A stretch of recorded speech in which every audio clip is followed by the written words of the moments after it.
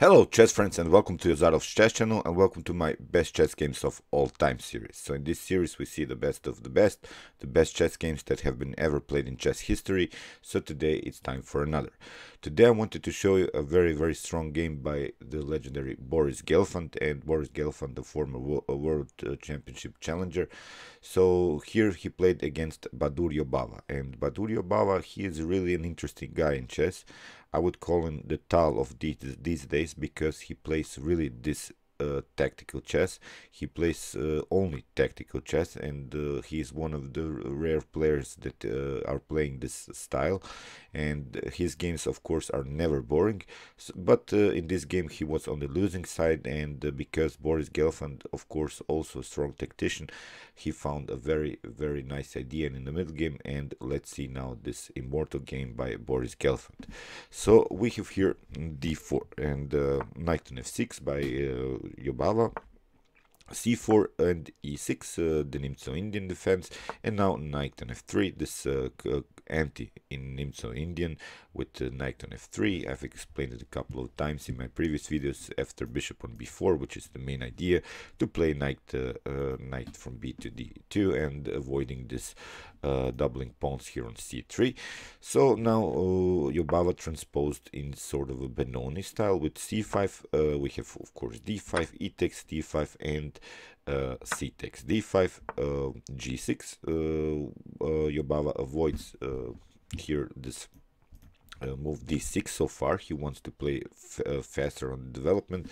Uh, d6 by white doesn't bring so much. It could gain some space but you have ideas maybe with queen on b6 to attack this d6 of course uh, and uh, try try to take it because this would be of course an annoying pawn and you want don't don't want to have them here on on the sixth rank so here uh, Gelfand plays plays simply this healthy chess knight on c3 maybe pre with preparations to play uh, e4 and now bishop on g7 and uh, here bishop on f4 uh, d6 now finally by Jobava and this is uh, I think a very very nice setup against the Benoni defense which you can see now by, played by Boris Gelfand.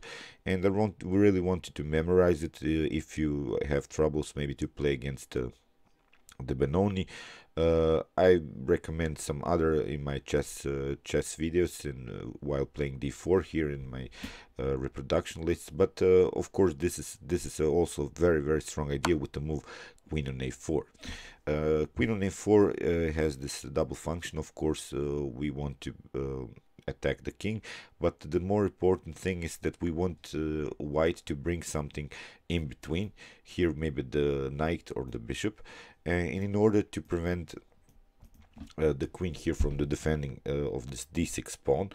And here Jobava answered with uh, bishop on d7 and now uh, queen on b6 b3 attacking this pawn on on uh, b7 and also this d6 this is still common theory and this this is uh, you may think black has done something wrong here by losing a pawn but it's really uh, in, in a well-known um, line in the Benoni and it's the most aggressive line and if you maybe uh, want to play some blitz or bullet games in this line try it out. Maybe you you will have success but this is really one of the most complex Benoni lines that I've ever seen. So uh, if you if you don't want to play it uh, like this uh, simply avoid it. But you see now uh, Jobava is in his territory. He wants to play these tactical games uh, with his ideas to maybe uh, give up a pawn or two just to create an attack. And of course that's his style and he wants to play play this this kind of game. So here uh, uh, b5 by Jobava was played. Uh, well, knight takes on b5 is an idea again with the here on d with an attack on d6 but it leads really to simplification because here after bishop takes on b5 queen takes on b5 and uh, knight on d7 uh, you can play maybe uh, bishop on d6 but now knight on e4 can be played with an attack on the bishop so here bishop on f4 and after castling you see black uh, has uh, a fast development here. Uh, you see white needs three more moves with maybe e3, bishop on e2, and then after uh, here this castling so three moves uh, to secure his king. And meanwhile black can play uh, ideas here with rook on b. 8 and attack here this b2 pawn. So this this of course Boris Gelfand didn't want to play this kind of uh, complex line. He simply took out first here the, uh, the, pawn on d6. So here queen on b6 and now this is now this uh, style of Jobava. He gave up a pawn but uh, he is now on the attack and uh, here bishop on e5 by by Gelfand we are creating here sort of a positional pin because in the Benoni this uh, bishop is always dangerous uh, piling, up, piling up here on this very strong diagonal. So uh, here with bishop on e5 we're creating this positional pin. We want to trade off the bishops and simplify the position with the pawn up and possibilities to play e4 and then maybe e5 to gain very nice central control. So uh, of course Jobava uh, doesn't want uh, to uh, doesn't want to go into simplifications. He plays another aggressive move after castling here e3 and now of course c4 so he, black has secured his king and now he can play on the attack. Uh, uh, now queen on d1 which is i think um, of course a good move. You see queen on c2 uh, well then you get bishop to f5 so this is the problem. You cannot play bishop on d3 here because uh, black has gained some uh, control here on the queen side and uh, although white's a pawn up he has to be careful. And now uh, knight on a6 so you see uh, Jobava's idea is to play knight on um, knight on b4 or may and then after that knight on d3 or on c2 with the support uh, of the bishop here on f5 uh, this pawn although it's on the fifth rank it's uh, not so mobile. It cannot progress so far because it's hard to push pawns. Now here you have to secure uh, of course first your king. So that's the problem. And now a4 very very nice idea by by Gelfand because after uh, b4 he can uh, really jump here on uh, uh with a knight on b5 and uh, maybe uh, force black to trade the strong bishop against this knight and really of course simplify the position as i said. Then after that with some ideas to play maybe bishop on bishop on d4 so this is now very very nice idea here to block this attack on the, on the queen side. Here we have of course knight on b4 with the same idea and Uh, uh, we have a takes b5 now bishop on f5 and now uh, we have uh, bishop takes on c4 so knight on c2 isn't so good for for black because uh, you can simply play uh, king on e2 and after taking the rook you see uh, although black is up the exchange but you see this is, these are very two very strong pawns here on d5 and b5 of course we can also uh, play here b3 to really fix the position. And then after that we can bring, bring the rook on the d file and go forward with this pawn. And as I said again we have this positional pin so there's no way to to kick away this bishop from uh, e5 and you can also play with improvement of, of the position of the of the bishop by playing bishop on d4 so this is not uh, a good line for uh, for uh, for black. So that's why after bishop on c4 rook from f to c8 was played now of course with an attack to, on the bishop and uh, here uh, Gelfand plays very nice defensively uh, b3 and now knight on g4 so now uh, Jobava's idea is uh, to play maybe knight on uh, c2 it's not uh, it's not the point that we want to take the rook on on a1 uh, the problem is that we want to after knight on c2 to occupy maybe this e3 so uh, here after bishop on g7 uh, well um, knight on c2 was played. And uh, if you maybe go away with your king on f1 you see you get king on g7 and uh, now maybe the rook has to play somewhere. And we have this uh, idea to sacrifice the knight and reload it. And after that with this uh, double attack on on the king on the, and the queen with the fork. And uh, this is the position I think in which uh, Jobava would play really well. But now after uh, knight on c2 well well, Boris Gelfand finds a very, very strong move, very nice idea. He takes, sacrifice the queen for the knight, queen takes on c2 and I've I've never seen uh, such a sacrifice in that uh, kind of stage because you see white uh, hasn't castled so far. So of course Jobava took uh, the queen on c2 now bishop on d4 with the tempo on the queen. So of course black has to react and he played uh, queen on d8 and uh, uh, what have we done here? So of course you see we have now um, three pawns and two pieces for the queen, but the problem really for uh, black is here that he doesn't have a clear plan how to attack uh, white's king. Uh, the coordination of the pieces is not so good.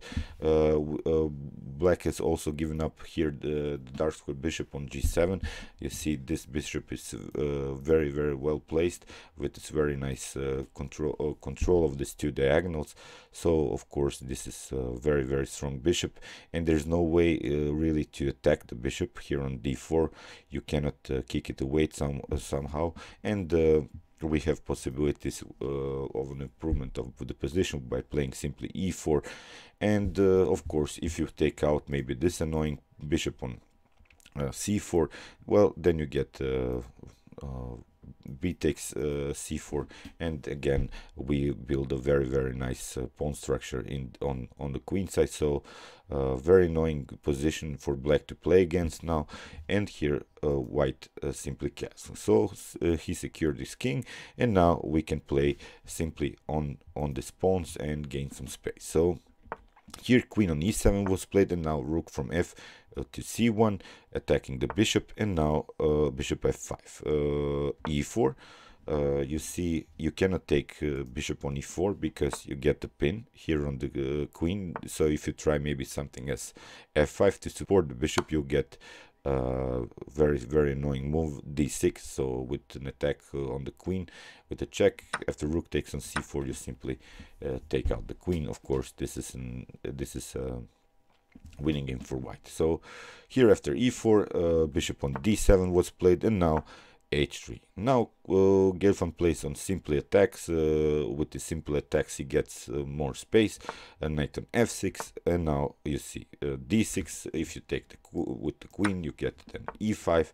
Uh, again uh, take another piece so that's why here after d d6 uh, queen on um, d8 was played and now e5 again gaining even some more space uh, the knight doesn't have good squares you see uh, Jobava played knight on h5 and now knight on d5. So see, uh, we have here again the possibility here to play knight on e7 with with a fork on the king and the rook. Uh, multiple ideas here. You see this dark square problems around uh, black's king, although uh, he doesn't have the queen, but the black's queen is really paralyzed here.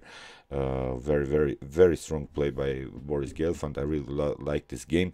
So here, king on f8, now bishop on e3, improvement of the position of the bishop. Now we want to play it maybe on g5 or h6. So we, we have here knight on g7 and now uh, knight uh, bishop on g5 uh, with uh, with with an attack on the queen.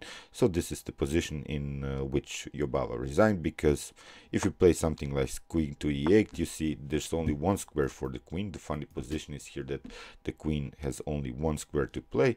So here after maybe queen on e8, you get knight on f6 again with an attack on the queen the queen has to go here on d8 and then you get maybe knight on h7 uh, with an with a check and of course the discovered attack on the queen.